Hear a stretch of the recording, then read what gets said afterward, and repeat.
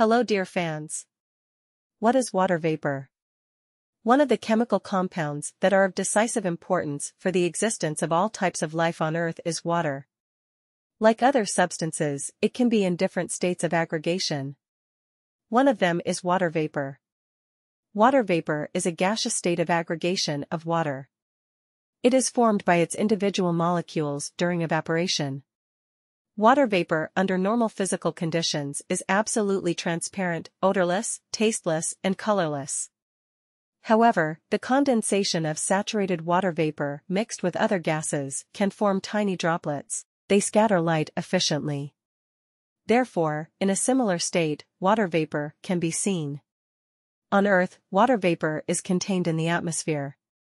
They play an important role in the course of various natural processes, and also directly affect the life of plants, animals, and people. The content of water vapor in the air is called humidity. Distinguish between absolute and relative humidity. To obtain an indicator of air humidity, hygrometers or psychrometers are used.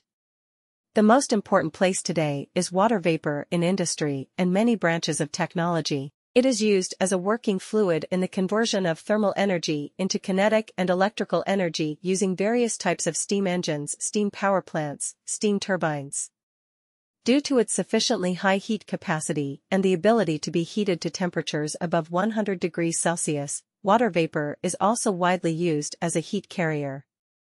For example, in steam heating systems.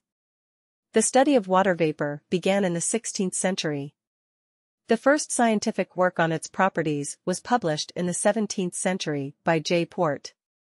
With the widespread use of steam engines in the 19th and 20th centuries, water vapor again attracted the attention of scientists.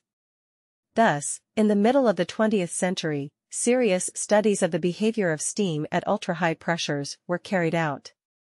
The research results were presented at the Fourth International Conference on the Properties of Water Vapor, held in New York in 1963.